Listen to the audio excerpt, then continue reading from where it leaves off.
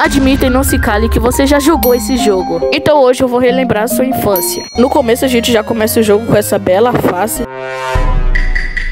Todos se lembram que a gente começa com uma corrida contra um ônibus, que ele vai chegar na primeiro que a gente lá na escola. Então não podemos deixar ele passar a gente. É, como vocês viram, eu tomei uma lapada do ônibus. Mas como eu sou um pouco profissional em parkour, eu já tô passando ele já.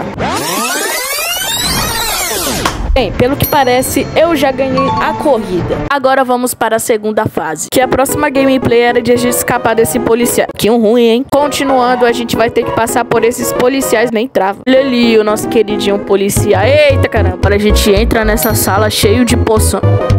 Pode me xingar, eu sou muito ruim. Chegava nessa sala cheia de spam. Meu Deus, só pra quem lembra, a aranha fazia esse barulho aqui.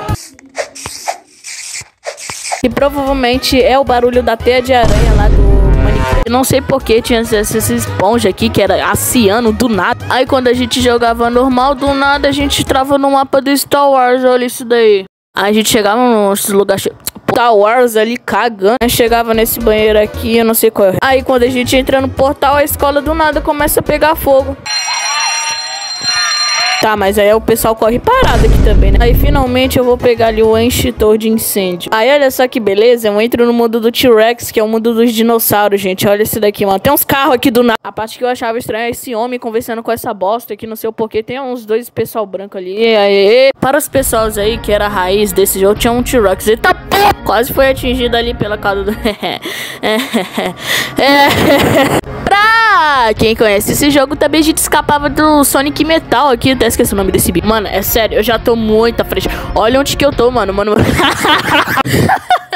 e, oh, e, oh. Agora eu vou entrar no mundo do emoji. Bravo tudo, mano. Tá cheio de metal aqui, sei lá.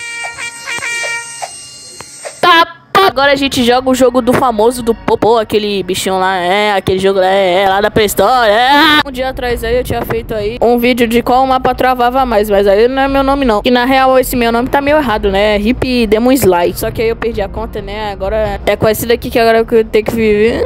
Mas por favor, para assistir esse vídeo, entra no meu canal e vai lá. Mas não se esqueça, para jogar comigo, esse é o meu nome. Agora eu vou atravessar esses anéis aqui, porque eu estou agora com um foguete.